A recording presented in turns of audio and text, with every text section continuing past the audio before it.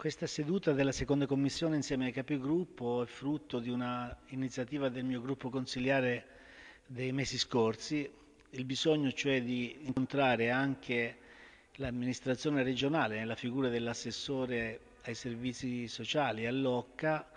per ragionare in maniera compiuta di una vicenda che a Pisa è stata di recente spesso affrontata in termini di emergenza attraverso il sistema delle ordinanze. per arrivare a questa riunione abbiamo impiegato del tempo, però diciamo che posso, posso dire che i risultati sono concreti.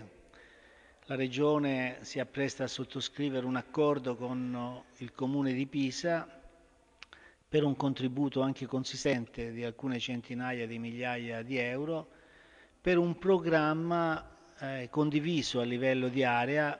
per intervenire in maniera compiuta sulla presenza rom nel nostro territorio.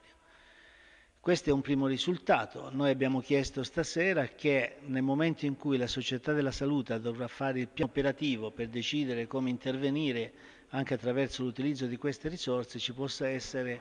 un ulteriore passaggio nella commissione consigliare per poter dare anche suggerimenti, fare proposte su come utilizzare queste risorse. Speriamo che questo ci sia e che finalmente nella città il problema Rom venga affrontato in maniera risoluta, decisa, ma diversa da come è stato affrontato nel passato.